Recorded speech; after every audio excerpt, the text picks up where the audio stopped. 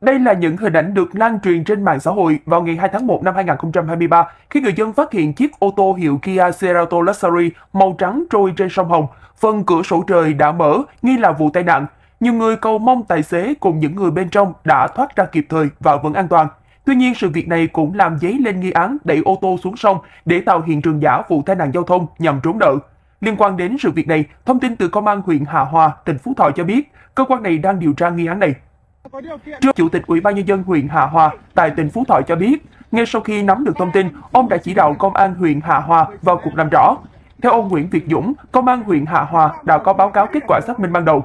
Cụ thể, lực lượng chức năng đã trục vớt chiếc ô tô nhãn hiệu Kia và phát hiện bên trong có giấy tờ mang tên một người 32 tuổi, trú xã Minh Côi, huyện Hạ Hòa.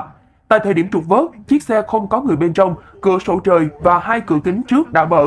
Đặc biệt, chiếc xe không có dấu hiệu tai nạn, xước xác.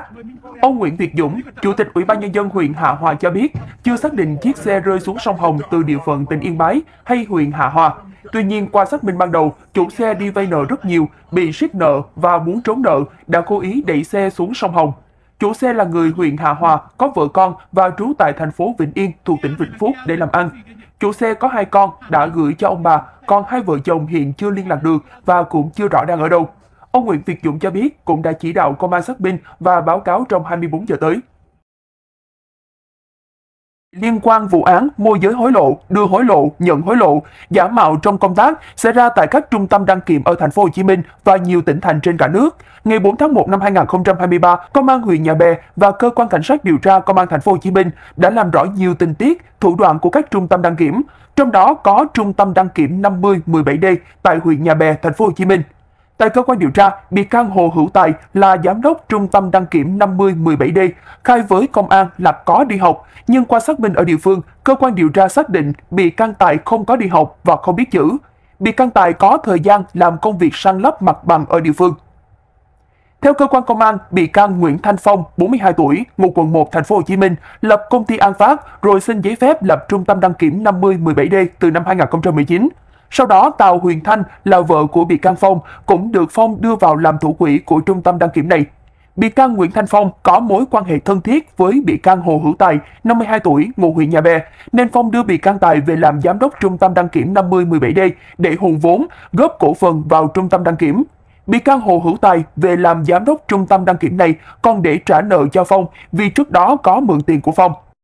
Từ năm 2021 đến khi bị bắt, các bị can Hồ Hữu Tài và Nguyễn Thanh Phong có chủ trương cho phép các đăng kiểm viên gồm Phan Hữu Minh, Nguyễn Trung Tính, Dương Minh Khánh, Phạm Công Danh, Lê Tấn Thiện bỏ qua các lỗi vi phạm về thắng, đèn của xe để nhận tiền hối lộ, kéo doanh thu về cho công ty.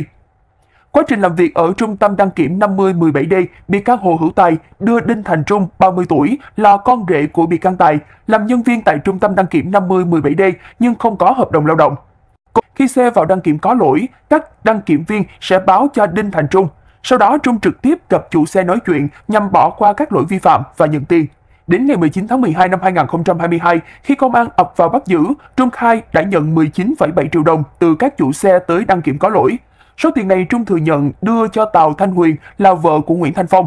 Sau đó, Tào Thanh Huyền lấy một nửa tiền và đưa lại cho Trung, giao cho Trần Thanh Vinh, 50 tuổi, là phó giám đốc trung tâm đăng kiểm 5017D.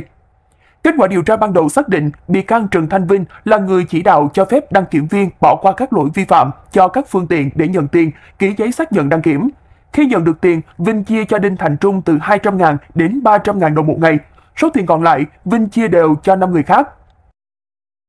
Hiện cơ quan điều tra đã khởi tố bị can Nguyễn Thanh Phong, Hồ Hữu Tài và 8 bị can khác về tội nhận hối lộ và tội môi giới hối lộ.